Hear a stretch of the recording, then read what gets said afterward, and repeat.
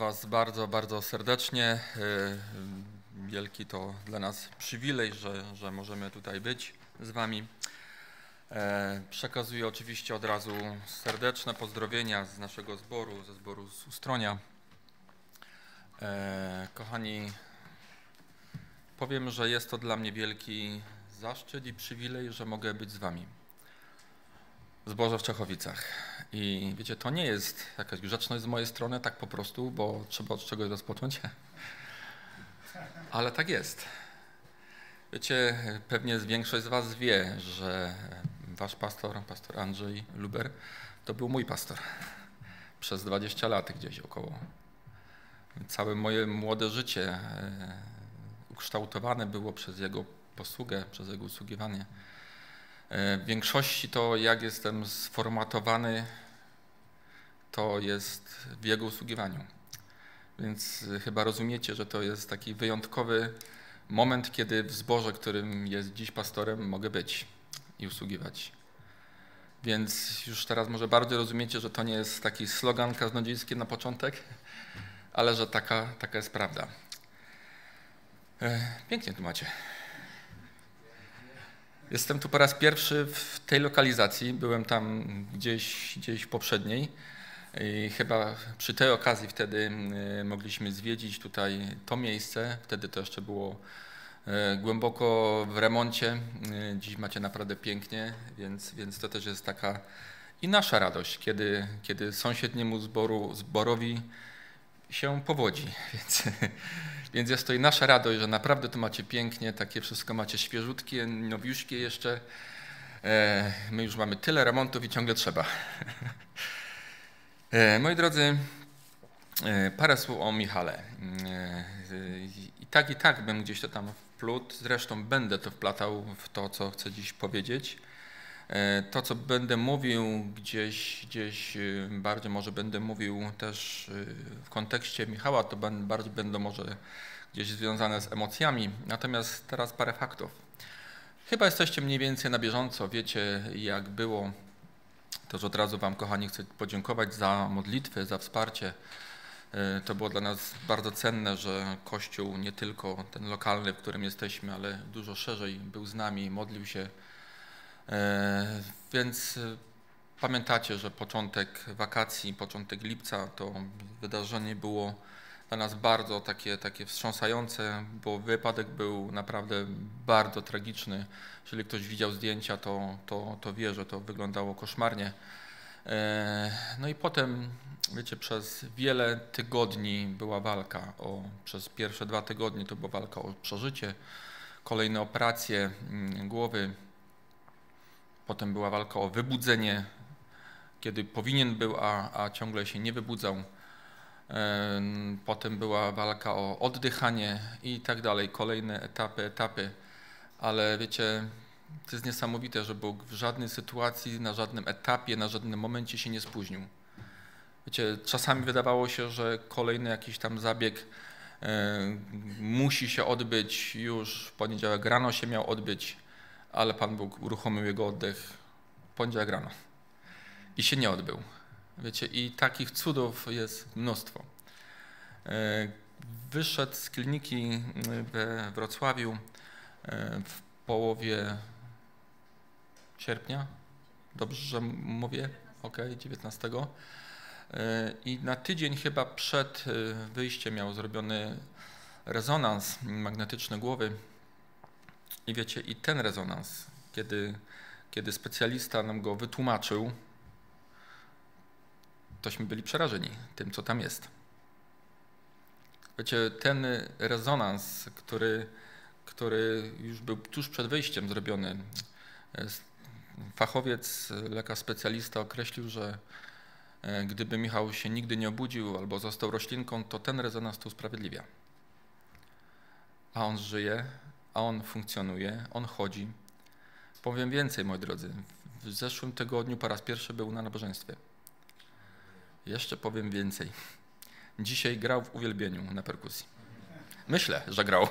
Miał grać. Więc wierzę że, wierzę, że grał. E, jasne, jest jeszcze wiele rzeczy do osiągnięcia. I w jego sprawności ruchowej, i w jego sprawności umysłowej, w sensie sprawności jego mózgu, naprawdę jest jeszcze wiele do osiągnięcia.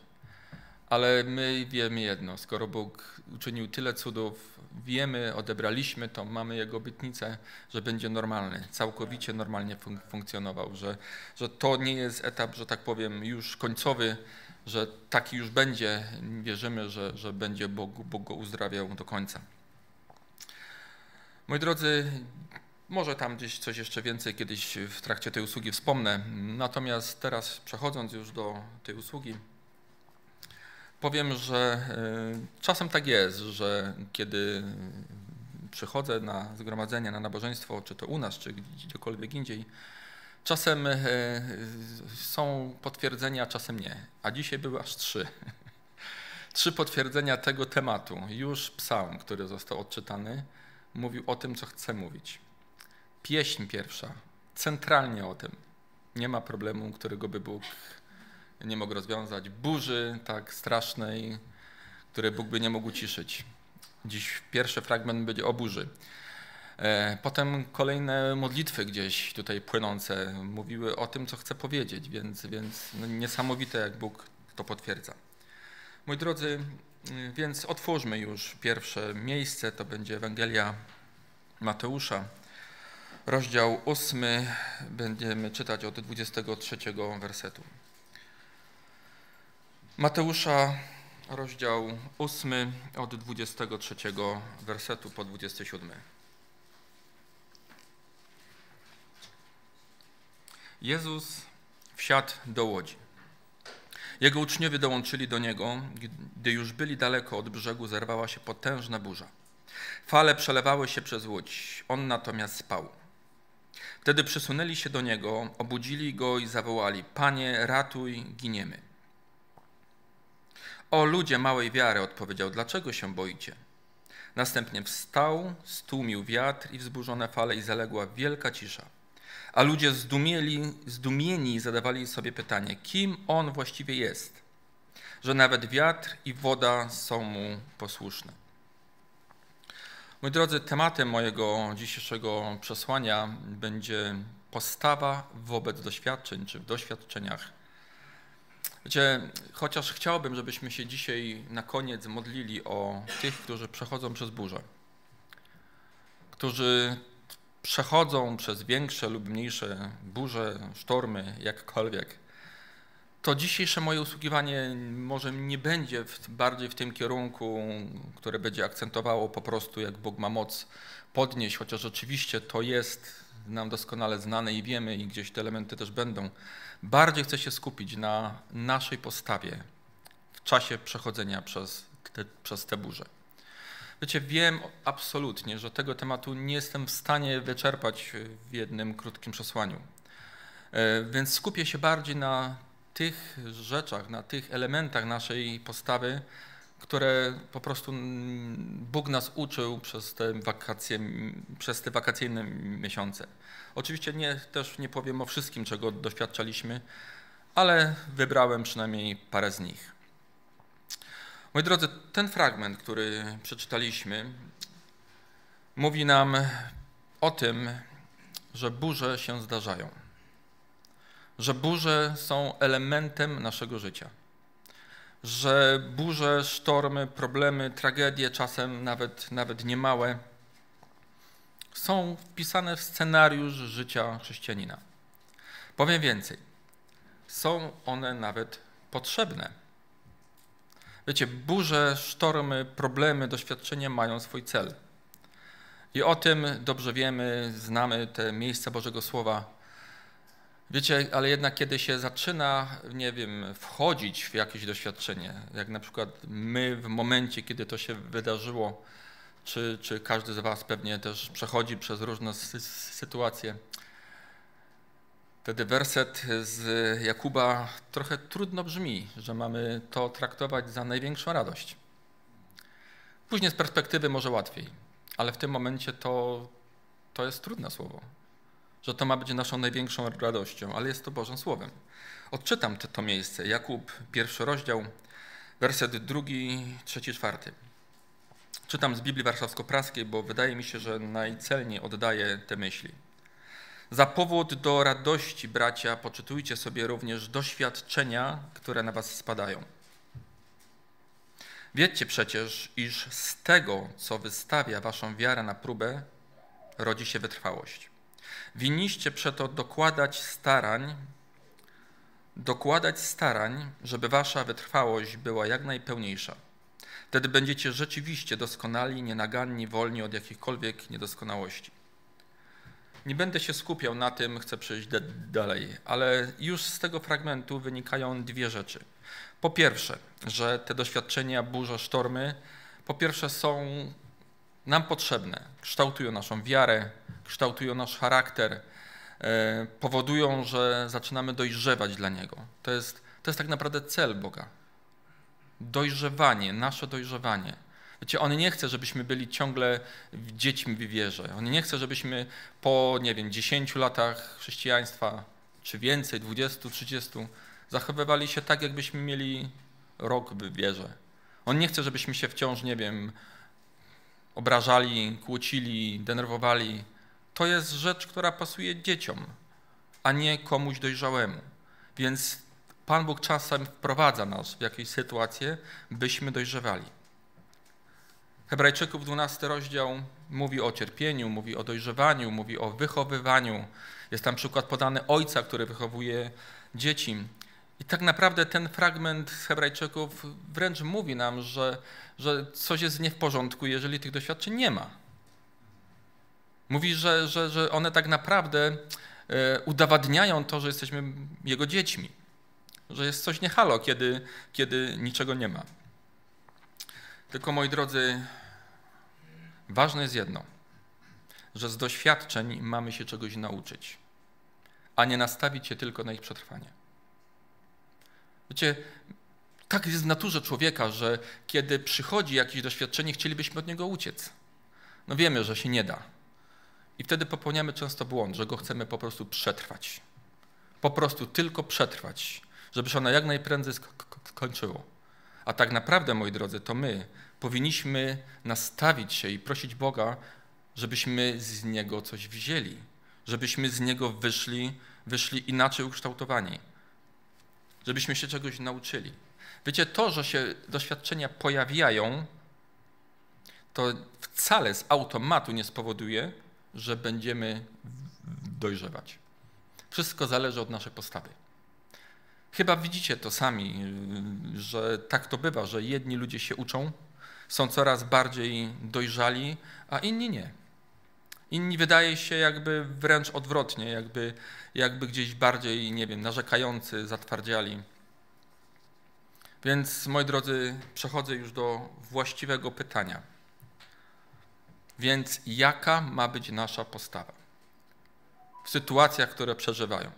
Wiecie, ten nasz przykład, który, o którym powiedziałem, o Michale, może był takim, takim, takim, nie wiem, nagłym, wstrząsającym, ale powiem Wam, nie pierwszym w naszym życiu, może nie, nie tej skali, nie, nie, nie takiej intensywności. I jak patrzę na Was, Wy wszyscy uśmiechnięci pięknie, ale nie wierzę, że nie przeżywacie.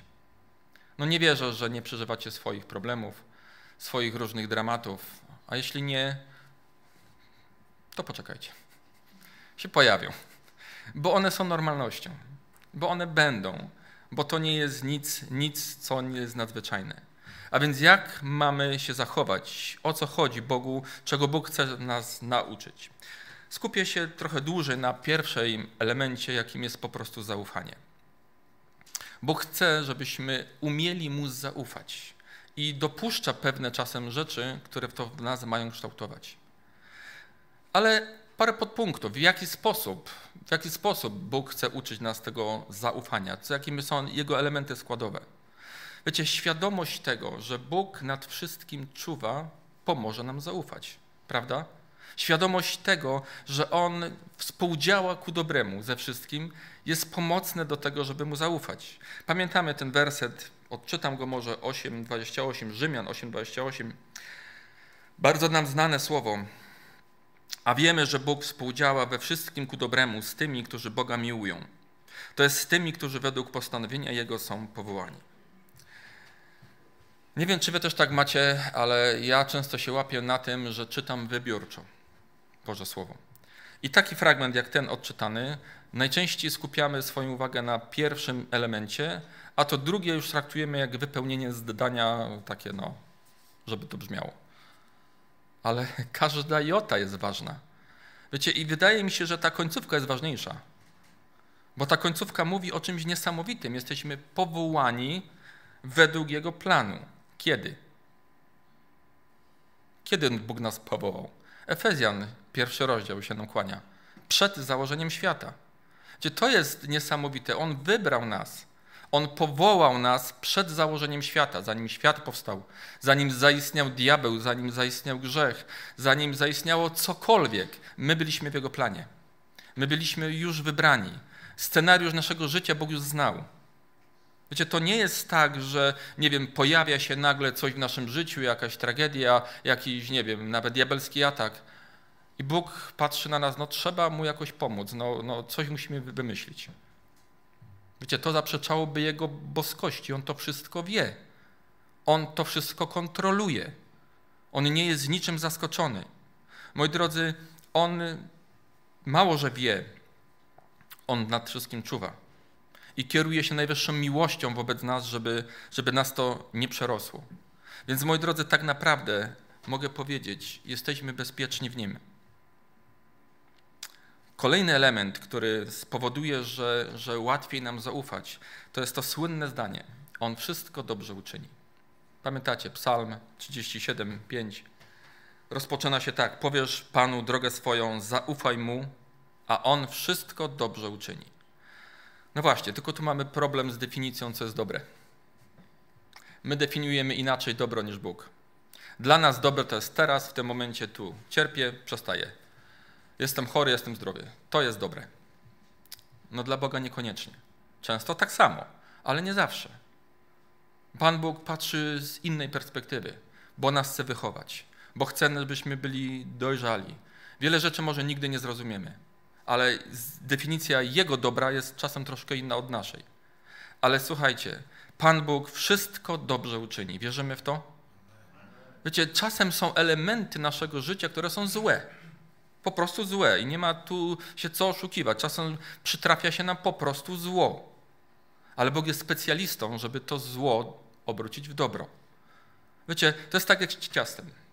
Nie znam się specjalnie na przepisach, ale myślę, że chyba nie, po, nie poknocę zbyt wiele, kiedy powiem, że tak popularne ciasto to co tam jest? Mąka, jajka, może sól, cukier, soda do niektórych, nie? Spróbujmy sobie pojeść tych elementów. Spróbuj sobie zjeść pół kilo mąki. Albo dwie łyżeczki sody. No nie da się chyba, nie? Więc to są elementy, które są po prostu złe, niedobre. Ale kiedy się zrobi z tego ciasto, to jest pyszne. Efekt końcowy jest rewelacyjny, prawda? Wiecie, i to podobnie tak wygląda, że, że te elementy naszego życia mogą być, być bardzo złe. Ale Pan Bóg jest specjalistą, że On ich tak poukłada i tak to wszystko potem, nie wiem, czy mogę powiedzieć, przemiesza, że wyjdzie z tego cudowny produkt, jeśli się Mu poddamy. Jeśli będziemy z Nim współpracować. Moi drodzy, Pan Bóg naprawdę współdziała we wszystkim ku, ku dobremu i Pan Bóg naprawdę wszystko dobrze zakończy tylko że nie do końca zgodnie z naszym pojęciem dobra. Bo czasem, czasem nawet jakieś trudne przeżycie, którego nie rozumiemy, będzie dobrem z jego perspektywy. Czasem nawet śmierć kogoś bliskiego. W jego perspektywie, którą może zrozumiemy, może nie zrozumiemy, będzie dobrem. On wszystko dobrze uczyni. Moi drodzy, dalej przechodząc, Ileż to razy Bóg mówi, zaufaj mi i kolejnym elementem jest nie bój się. Nie bój się. Znamy to przecież, prawda? Podobno, że tam ponad 300 razy na każdy dzień przypada jedno słowo nie bój się. I co, nie boimy się? Nigdy? Dlaczego tak jest? Dlaczego się wielokrotnie boimy? Jak się mamy nie bać? Ktoś powie, skoro okoliczności są takie. Wiecie, jak, zadawałem sobie to pytanie w ten y, poniedziałkowy poranek, kiedy otrzymaliśmy informację o, wy, wy, o wypadku. Kiedy bardzo realne było to, że nasza córka będzie wdową. Parę lat po ślubie. I nie bój się. I nie bój się, kiedy okoliczności są takie. Kiedy może otrzymujesz diagnozę od lekarza, która stwierdza, że masz nowotwora i zostało ci tylko troszkę jeszcze. Albo inne jakieś tam dramaty. Moi drodzy, ale tu na pomoc przychodzi nam świadomość tego, kim jestem.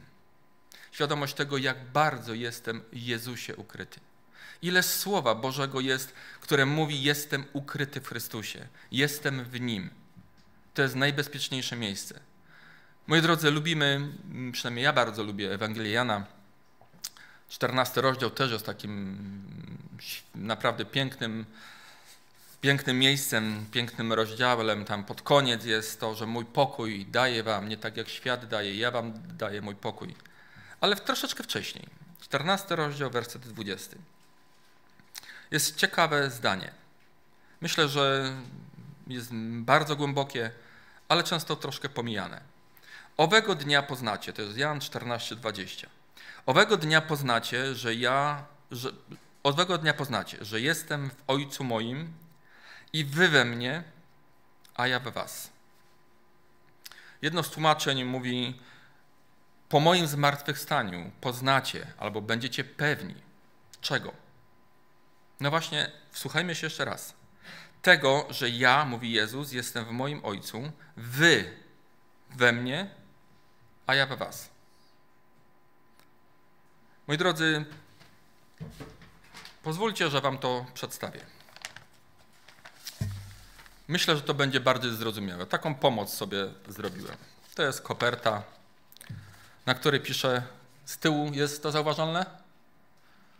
Bo największa. Potem będzie problem. Ale nikt wam nie kazał siadać na ostatniej ławce. Kochani, yy, więc to jest z napisem Bóg. I co Jezus powiedział? To jest koperta z napisem Jezus. Co Jezus powiedział? Że co? Ja jestem w moim Ojcu. Chowamy? Jezus powiedział: Ja jestem w moim Ojcu. Co dalej jest napisane? A wy jesteście we mnie. Ja, ty, my jesteśmy w Jezusie. Prawda? I co jeszcze jest napisane? A ja we was. Jezus mówi: Jestem w was. Jak bezpieczne miejsce. Zobaczcie, każdy problem, każda tragedia, każde uderzenie, które chce przyjść do nas, do kogo najpierw trafia? Do Boga. Potem natrafia na Jezusa. Prawda? Potem dopiero spotyka nas. Kiedy to uderzenie spotyka nas, co znajduje w nas, wewnątrz? Jezusa. Moi drodzy, to jest obraz tego wersetu. Jakże bezpieczne miejsce. To dlaczego się bać? Jakże bezpieczne miejsce. Widzicie, żaden atak nie może przyjść bez wiedzy, bez akceptacji naszego Ojca. Nawet diabelski atak. Wiecie, jest w paru miejscach jest, jest, jest to pokazane, odsłonięta duchowa tajemnica, że szatan musi grzecznie zapytać, czy może. Księgę Joba znamy, ale pamiętacie, co Jezus powiedział Piotrowi? Coś, czego Piotr nigdy by nie mógł zobaczyć, bo to było w sferze duchowej. Szymonie, Szymonie. Szatan co zrobił? Wyprosił. Wyprosił. Jak mi się to podoba. Wyprosił. On musiał przyjść i poprosić o pozwolenie na atak. Dziwna rzecz, że go otrzymał. I to wielokrotnie tak jest, że on go otrzymuje ale no nie czas już teraz o tym mówić do jakiego stopnia i, i, jak tak naprawdę szatan jest tylko narzędziem w Bożym ręku, żeby zrobił, co ma zrobić. Moi drodzy, tak bardzo bezpieczni jesteśmy w Nim. Nie bój się. ja sobie e, kliknąłem w aplikacji biblijnej po prostu tą frazę, nie bój się. Wyskoczyło mi nieskończenie wiele tych wersetów. Nie, nawet nie, nie, nie liczyłem. Skupiłem się tylko na księdze Izajasza i, i sobie wynotowałem tych parę wersetów. Kilku, kilkukrotnie, albo nawet kil, kilkunastokrotnie pojawia się to słowo w samej księdze Izajasza. Nie bój się, bo ja z tobą. Albo nie bój się, ja cię wspomogę. Nie bój się, jestem twoim odkupicielem. Nie bój się, nazwałem cię twoim imieniem, moim jesteś. Gdyby to było językiem nowym, nowotestamentowym, to byłoby powiedziane we mnie jesteś. Tak jak przed chwilką pokazywałem. Jest miejsce w księdze Izajasza, kiedy mówi prorok Izajasz, Bóg przed proroka Izajasza, że Bóg mówi: Nie zapomnę o tobie nigdy. Wyrysowałem cię na moich dłoniach. Pamiętamy ten werset? Biblia Warszawsko-Praska i Biblia Tysiąclecia mówi: Wycisnąłem cię na moich dłoniach. Przykład ekumeniczny mówi: Wyryłem. Jakkolwiek by to nie brzmiało, chodzi o to, że jesteśmy wyryci, wyciśnięci, wypisani sposób niemożliwy do usunięcia. Niemożliwy do usunięcia. Moi drodzy, więc powtarzam pytanie. To dlaczego się boimy? Kiedy przychodzi nowa sytuacja, najczęściej się boimy. Moi drodzy, myślę, że dlatego, że skupiamy się na złych sprawach, że patrzymy w złą stronę, że skupiamy uwagę na niewłaściwych miejscach. Ja nie mówię, że złych w sensie, grzecznych, w sensie grzesznych, nie, nie, nie to mam na myśli. Ale wiecie, zawsze mamy wybór. Kiedy przychodzi trudna okoliczność, albo będę skupiał się na Bożym Słowie, na Bożych obietnicach, na to, co On mi mówi w swoim Słowie, kim jestem jakie mam prawo i jakie mam obietnice jak On jest potężny, albo będę się skupiał na tym, co widzę. I wtedy się będę bał. Moi drodzy, i tak to jest, że zawsze mamy ten wybór. Tylko powiem Wam coś więcej. Coś, czego najbardziej Bóg mnie uczył. Zamknę to w dwóch słowach. Ty decydujesz. Ty decydujesz. Ja decyduję, co będzie moim fundamentem. Moi drodzy, nikt inny za nas nie zadecyduje. Wiecie, możemy mieć wsparcie ze strony, nie wiem, przyjaciół, zboru, ale tak naprawdę to moja decyzja, na czym się będę, na czym będę skupiał swoją uwagę. Mówi się, że mamy wolną wolę. I to jest prawda. Bóg dał nam wolną wolę. Od czego wolną? Wiecie, między innymi od tego wolną, że nie musimy jakby podejmować decyzji w oparciu o swoje emocje. Nie musimy podejmować decyzji w oparciu o to, co widzą nasze oczy. Wiemy dobrze, że jesteśmy tak skonstruowani, jedno zdanie teologii, jako ciało, duch i dusza. Kiedy mówię o duszy, to ona składa się z naszego umysłu, z naszych emocji i w końcu z naszej woli. Wiecie, i tak to jest, że kiedy wydarza się coś, to przez nasze receptory w ciele umieszczone, czyli wzrok, słuch, dotyk i inne, wpływają dane do naszego umysłu. Prawda? Więc nam wpłynęło dane, że Michał jest po wypadku tragicznym. Wpływają dane o jego stanie. Wpływały dane, że leży na ojomie i rokowania są beznadziejne. Do może Twojego umysłu wpływają dane, że Twoje dzieci są w świecie, może biorą narkotyki, może już gdzieś w kręgi mafijne przechodzą. Być może wpływają dane o, o, o chorobie. Wiecie, i te wszystkie dane wpływają do naszego umysłu. Umysł je przetwarza, a emocje nakręcają. Ale jest wola. Ale jest wola, która tutaj jest szefem. Wola decyduje. Wiecie, wola to jak przełącznik z jednej pozycji na drugą. Nie ma pozycji środka. Nie ma pozycji brak, brak wyboru. Więc albo jest pozycja, będę patrzył na okoliczności, i będę się bał, albo będę patrzył na, na Niego i będę Mu mógł, mógł, mógł zaufać. Nie otwieramy tego, ale myślę, że z pamięci będziemy pamiętać początek Księgi Daniela. Gdybyśmy zobaczyli na werset ósmy, przynajmniej według tego nowszego tłumaczenia, tam jest napisane tak. Daniel postanowił. Daniel zadecydował że nie będzie się kalał po potrawami i tak dalej. Ale chodzi mi o to jedno słowo. Daniel postanowił, Daniel podjął decyzję. On nie poszedł na to, no może, może tam mi inni pomogą, może jakoś to samo będzie. Daniel podjął konkretną decyzję. A następny werset rozpoczyna się, a Bóg sprawił. Moi drodzy, jest nasza decyzja, a potem Bóg ją realizuje. A potem Bóg do tego się przyznaje. Wiecie, my nie jesteśmy tego w stanie zrobić, ale możemy zadecydować, bo mamy wolną wolę. Ale wiecie, kiedy przyjeżdżaliśmy do kliniki, do Wrocławia, kiedy na wejściu zawsze sam to był obowiązek z lekarzem porozmawiać, nie można sobie tam było tak po prostu wejść. Wiecie, te, te rozmowy były, były strasznie dla nas trudne, bo albo słyszeliśmy, że jest bez zmian w najlepszym przypadku, albo słyszeliśmy o jakimś pogorszeniu. Potem podchodzę do Michała i co widzę? I widzę człowieka, który leży bez życia, podłączony tyloma rurami i wszystkim sprzętem, że za bardzo go nie widać pod tym. I okoliczności krzyczą. Kochani, okoliczności krzyczą. I teraz mam wybór. Właśnie to jest miejsce, kiedy decyduję. To jest moment, kiedy decyduję, na czym się oprę. Czy wyjdę stąd zdruzgotany, czy będę mu ufał. Wiecie, wielokrotnie było tak, że, że trzeba było po prostu zadecydować. Wbrew swoim emocjom, wbrew wiedzy, którą mieliśmy. Wiecie, to była wiedza od fachowców. To była klinika wysokiej klasy. Raz tam czegoś potrzebowaliśmy, przeszliśmy tam korytarzami, czegoś poszukując. Tak zwróciłem uwagę na, na te drzwi i zawsze te nazwiska. Wiecie, 80% to był profesor. Ktoś tam się zdarzył, doktor, do, do, docent, mniej, mniej nigdy. Więc, kochani, ta wiedza pochodziła z takich ust. I to nie były żarty, to były fakty. Ale moi drodzy, decyzja była.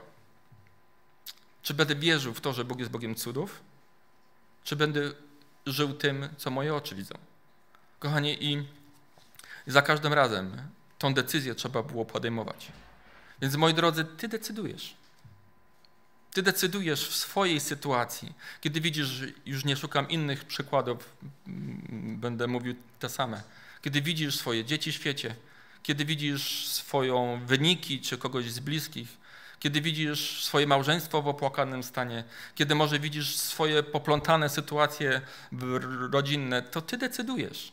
Czy będziesz patrzył na to i się bał, czy będziesz brał Boże Słowo i będziesz go czytał i będziesz go proklamował i będziesz ogłaszał, że Bóg jest Bogiem cudów, że Bóg jest Bogiem wielkim, że Bóg nie zawiedzie i tak dalej, i tak dalej. Moi drodzy, my decydujemy.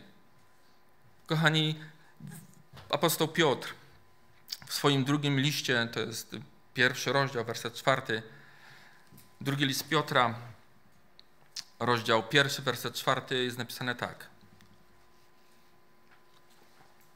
Dzięki nim darowane nam zostały drogie, drogocenne, największe obietnice.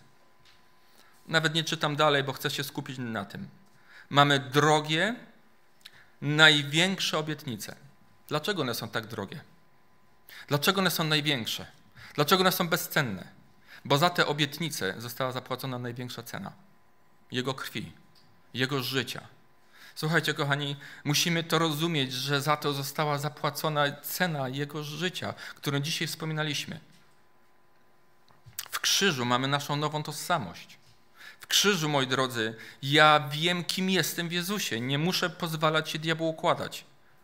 W krzyżu mamy zwycięstwo, w krzyżu mamy uzdrowienie, w krzyżu mamy moc sińców i ran. Moi drodzy, i to jest, to jest wręcz takie trudne, myślę, dla Boga, jeśli On daje nam największe obietnice, które zapłacił ceną krwi, a my je lekceważymy. A dla nas są one takie gdzieś tam sobie zapisane. Kochani, jakże często, pomimo całej tej naszej wiedzy, że wiemy o tym, że jesteśmy w Nim, że jesteśmy bezpieczni w Nim, mimo wszystko mimo wszystko się wielokrotnie boimy. Pozwólcie jeszcze na jeden obraz, już go nie przedstawię. Za moment zrozumiecie, dlaczego nie mogę go przedstawić, bo, bo się nie da. ale użyję mojej i waszej wyobraźni. Kochani, wyobraźcie sobie, że jesteście gdzieś na jakiejś wycieczce czy urlopie, dajmy na to w jakimś pięknym miejscu, takim trochę dzikim, jak nie wiem, może Alaska, czy gdzieś tam.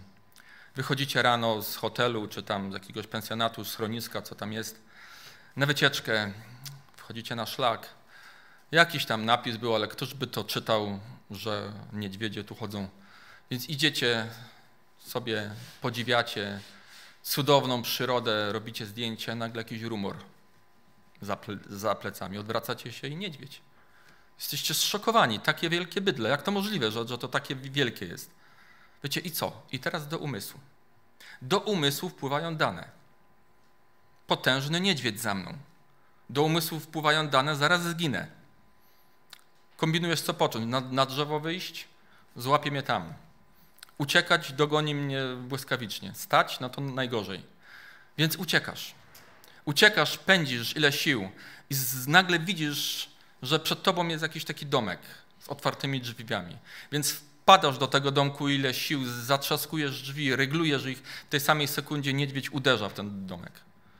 Tylko coś tam strzeszczało, ale wszystko stoi. Wpadasz i cały drżysz, opierasz się o ścianę i cały drżysz. Przed tobą okienko jakieś. No niestety niedźwiedź się już w nim pokazuje. Nie wejdzie, więc gdzieś tam łapą próbuje ci sięgnąć. Więc ty przyklejony do ściany ledwie, że przytomny ze strachu. Nie wiesz o jednym. Że ten domek jest zbudowany jak bunkier. Bezpieczny. Tabun niedźwiedzi nie da sobie z nim rady. Więc możesz, będąc bezpieczny, umierać ze strachu. Rozumiecie już, co mówię. Ten niedźwiedź jest obrazem tego, co przeżywamy. Naszych problemów, doświadczeń, tragedii, które nas spotykają. A ten domek jest obrazem naszego bezpiecznego miejsca, którym jesteśmy w Chrystusie. Tylko widzicie, możemy być w tym bezpiecznym miejscu i nadal drżeć ze strachu.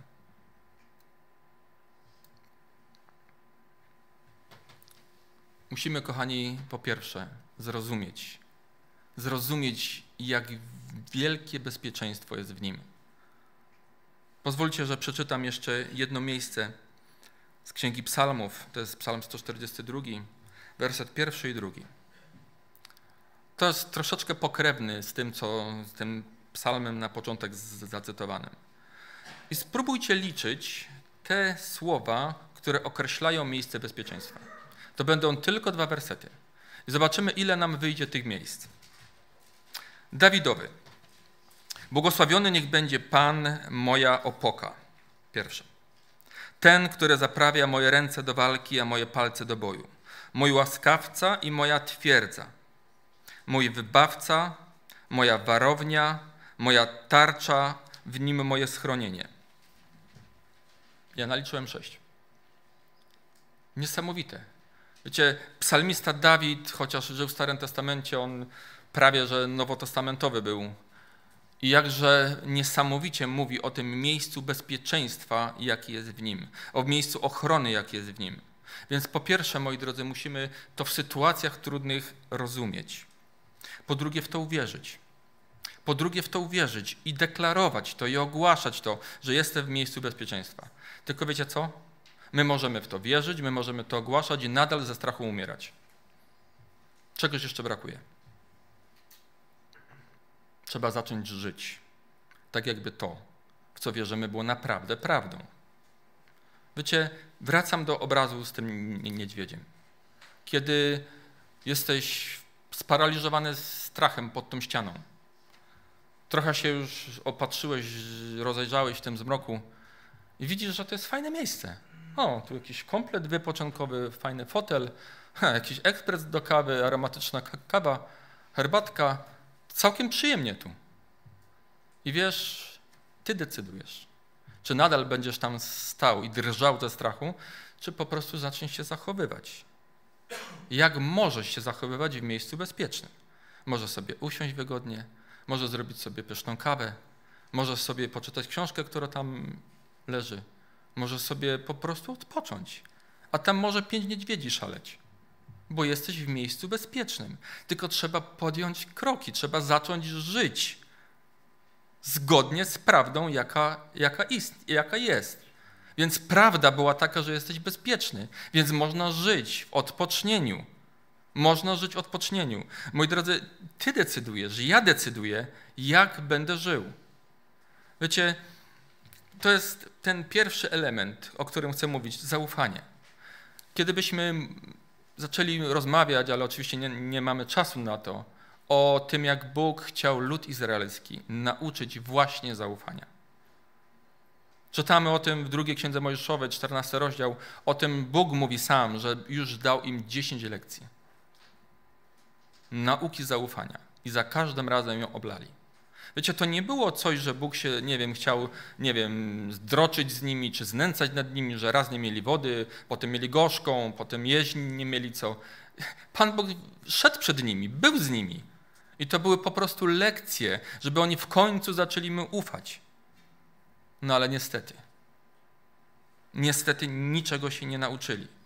Moi drodzy, dlatego, dlatego ja chcę jakby mówić o tym, zachęcać nas do tego, żebyśmy nie marnowali lekcji, które mamy. Moi drodzy, wiecie, my mamy tendencję taką troszkę, że jeżeli coś się wydarza w naszym życiu, żebyś zaraz chcemy, żeby, żeby to inni nas wsparli. Nie zrozumcie mnie źle. Naprawdę teraz wytężcie swoje komórki szare, żeby mnie dobrze rozumieć, bo to jest mega potrzebne. Wsparcie innych jest niesamowite. Doświadczyliśmy tego. Przez te miesiące, kiedy Michał był w najgorszym stanie, myśmy niesamowitego wsparcia ze strony zboru i kolejnych dalszych zborów doświadczali. Nie wiem, jakbyśmy w ogóle przetrwali bez. Ale wiecie co? Gdybym nie miał własnego przeżycia, niczego bym się nie nauczył. Lud izraelski też ciągle mówił Mojżeszu, to ty rozmawiaj z Bogiem nic się nie nauczyli. Nie mieli osobistego przeżycia.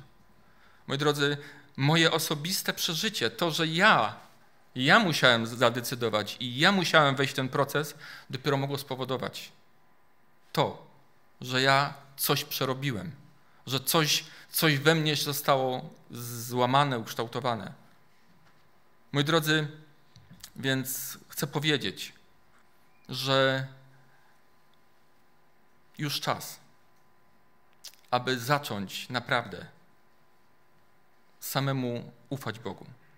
To jest dobre, kiedy inni się modlą. To jest dobre, kiedy inni nas wspierają. Jak powiedziałem, chcemy dzisiaj modlić się o tych, właśnie o tych, którzy coś przeżywają, ale to nie zastąpi Twojego osobistego spotkania. To nie zastąpi Twojego osobistej decyzji, którą będziesz podejmował. Nie raz, cały czas. Moi drodzy, więc tyle, jeśli chodzi o kwestię zaufania.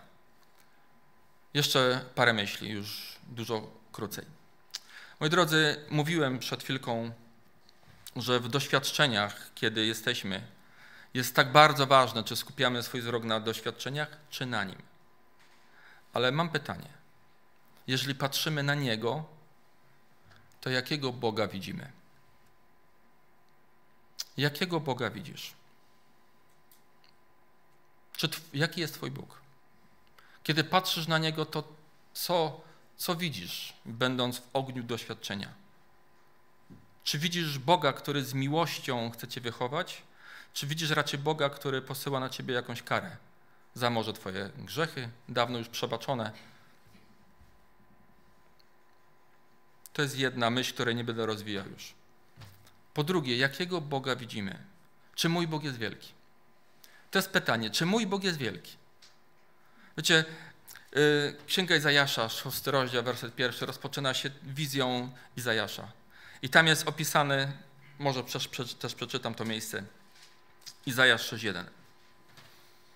W roku śmierci króla Uzjasza zobaczyłem Pana, który siedział na wysokim i wywyższonym tronie, a brzegi jego szaty, inne przykłady mówią, tren jego szaty, wypełniały świątynię.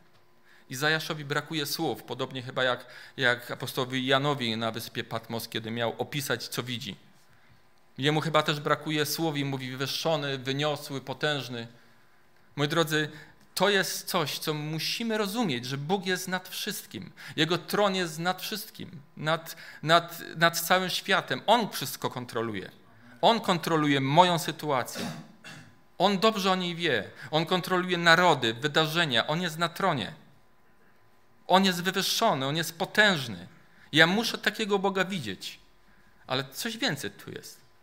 A tren jego szaty wypełnił świątynię. Kto jest świątynią? My jesteśmy Jego świątynią. Jego obecność wypełnia nas.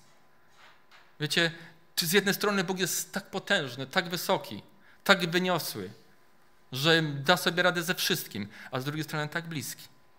A z drugiej strony tak bliski nam. Zacytuję jeszcze Psalm 70. Nie musicie odszukiwać. Niech zawsze powtarzają, jak wielki jest Bóg. Jest mowa o, o ludziach, którzy mają mu zaufać. Inny przykład mówi: Niech zawsze mówią, wielki jest Bóg. Słuchajcie, króciusieńkie słowa, ile tu jest treści. Niech mówią, nie myślą. Niech mówią. To jest, wiecie, to jest coś, co też i Jozue usłyszał, że mam mówić słowo. To jest tak ważne, mówić. Tu jest więcej powtarzane, jest powiedziane powtarzają. Kiedy? Zawsze. Widzicie to? Zawsze. Niech zawsze mówią.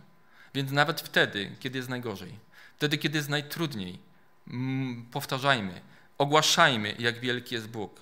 Może, moi drodzy, to jest tak istotne, bo jeżeli mój Bóg nie będzie wielki, to przyjdzie wielki problem i mnie pokona. Jeżeli mój Bóg nie będzie wielki, to wielki problem mnie pokona. I ostatnia, prawie że ostatnia myśl. Kolejna rzecz, która ma, mamy się nauczyć. Już wiemy, że jeśli jesteśmy w doświadczeniu, w jakiejś burzy, rozumiem, że to jest Boża lekcja dla mnie. Rozumiem, że jestem ukryty w Nim, tak jak koperta w kopercie. Rozumiemy o tym, rozumiemy to, że On nad wszystkim panuje, wszystko kontroluje. Ufam Mu, widzę Go wywyższonego i tak dalej, i tak dalej. Co to wszystko powoduje? Jaką reakcję to powinno spowodować? Słyszę tutaj dobre szepty, dziękczynienie, wdzięczność, uwielbienie. Moi drodzy, to jest niesamowicie ważna lekcja. Uwielbienie. Cytatem, którym się chcę podeprzeć, to jest znane miejsce, 1 Tesaloniczan 5,18.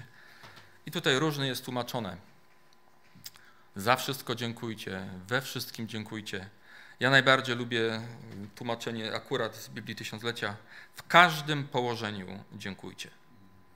Taka jest bowiem Boża wola w Chrystusie Jezusie względem Was. W każdym położeniu dziękujcie. Moi drodzy, ja o tym mówiłem chyba w czerwcu. To była jedna z moich kazań u siebie z Bo Bożem. Chyba zatytułowałem Oręż Uwielbienia, czy jakoś tak. Nawet tą pieśń, za której za chwilkę powiem, prosiłem, żeby grupa zaśpiewała. I powiem tak, naprawdę wiedziałem, o czym mówię. Ale tych miesiącach wakacyjnych tośmy przerobili, tośmy doświadczyli. I powiem Wam, jesteśmy w, akurat w tym aspekcie trochę w innym miejscu niż byłem wtedy, kiedy to zwiastowałem. Naprawdę. To było coś niesamowitego, coś, czegośmy doświadczyli w kwestii uwielbienia w czasie największych burz. Ta pieśń, o której wspomniałem, to z TGD, pamiętacie, śpiewam Aleluja, ucisza ten niewiary krzyk. Wiecie, ile razy ten niewiary krzyk wyrywał się? Ciągle. Wiecie, ile razy niewiary krzyk podnosił swój głos? I powiem wam, nic go tak nie ucieszało, jak uwielbienie. Kiedy wyjeżdżaliśmy, jeździliśmy tam na pewnym etapie już potem bardzo często, dwa razy, trzy razy w, te, w tygodniu do Wrocławia. Z reguły zawsze to było poprzedzone porannym czy dopołudniowym telefonem. Jak już Wam wcześniej powiedziałem, te telefony były, były trochę trudne. Najczęściej bez zmian albo tam coś się komplikowało. Często siadaliśmy do auta, tak po ludzku mówiąc, troszkę zdruzgotani. Ileż to trwa? I ja skomponowałem sobie taką własną playlistę polskiego uwielbienia. Nawet wcześniej nigdy nie wiedziałem, że polskie uwielbienie może być tak głębokie. Włączaliśmy to sobie. Początkowo słuchaliśmy, potem śpiewaliśmy razem z nimi. Potem zaczęło się to przeradzać, że zaczęliśmy śpiewać my już w duchu, w językach. Najczęściej podkręciłem, żebyśmy się nawzajem nie słyszeli. I czasem aż do Wrocławia. Trzy godziny, więcej. Zależy od tego, co było na drodze. Bo powiem wam, to było coś niesamowitego. Przyjeżdżaliśmy, jakbyśmy, nie wiem, byli na przeciągach nieba, a nie przed kliniką na parkingu. Czasami wydawało mi się, że chyba mi Michał wyjdzie naprzeciw na ten parking. Ale kiedy wchodziliśmy, słyszeliśmy, co słyszeliśmy. Najczęściej czułem się, jakbym dostał obuchem w głowie, w głowę, jak słyszałem lekarzy, którzy mówili, co mówili. Kiedy potem stałem nad, nad Michałem. Wiecie, człowiek ma tylko jakieś swoje emocje. I bardzo często siadaliśmy do samochodu znowu bardzo przytłoczeni. Znowu uwielbienie. I powiem Wam, że to wprowadzało nas na inny poziom. Kolejnym raz, kolejny wyjazd, kolejny wyjazd był coraz, coraz łatwiejszy. Moi drodzy, uwielbienie w tym czasie nas po prostu przenosiło. Uwielbienie Boga. Niekoniecznie, wiecie, myśmy się w ogóle nie koncentrowali na problemie, na sytuacji, tylko na Nim. Tylko na Bogu. On wywyższony, te wszystkie pieśni, które mówiły o Jego wielkości, o Jego świętości, po prostu Jego uwielbialiśmy i Nim się zachwycaliśmy. A On robił swoje. I zakończę wersetem, od którego rozpocząłem. Czyli wracamy do burzy na morzu. Jak myślicie, czy burza zaskoczyła Pan Jezusa? Pewnie, że nie. Doskonale o niej wiedział. Siadając, wiedział, co będzie za, za chwilę. To było wszystko przygotowane, żeby ucznić czegoś nauczyć, czy uczniów czegoś nauczyć. I w mega skrócie, moi drodzy, powiem tak. Wiemy, że Jezus spał. Wiecie, to był jakby, jakby dla mnie to jest jakiś taki symbol. Jakby Jezus pierwszą rzeczą, którą chce nauczyć uczniów, to mówi: chodźcie, chodźcie, zostawcie te wiadra, zostawcie te wiosła i tak nie dacie rady sobie z tą bu bu burzą i tak. Chodźcie, połóżcie się obok mnie. Tu jest najbezpieczniej. Zapraszam was, przytulcie się do mnie. Ja śpię, chodźcie obok mnie. I tak sobie nie, nie poradzicie z tym beze mnie. Tu jest miejsce odpocznienia. Jezus zachęca nas do miejsca odpocznienia w Nim. Jestem w Nim ukryty. Po drugie, kiedy wstał, czym się zajął? Pamiętacie? Wstaje, czym się zajmuje? Ich sercem. Nie burzą. Ich sercem. Najpierw zajmuje się ich wnętrzem. Najpierw zajmuje się ich złą postawą. Najpierw koryguje ich postawę. I to jest to, o czym mówiliśmy dzi dzi dzisiaj. Najpierw pyta, to jeszcze nie macie wiary? Najpierw mówi, nie bójcie się. Ale kochani, piękną wiadomością jest to, że tutaj nie skończył. Prawda? Uciszył burzę. Uciszył burzę. Moi drodzy, i chciałbym, żeby, żeby te, te, jakby, te trzy kroki nam towarzyszyły. Kiedy przeżywasz burzę, to znajdź miejsce odpocznienia w nim. On naprawdę nad wszystkim czuwa. On naprawdę jest Bogiem wyniosłym, potężnym i da sobie rady z burzą Twojego życia. On wszystko dobrze uczyni. Jezus chce skorygować naszą postawę strachu, braku zaufania. Ale wiecie, co chce na końcu zrobić? Uciszyć burzę. Uciszyć burzę.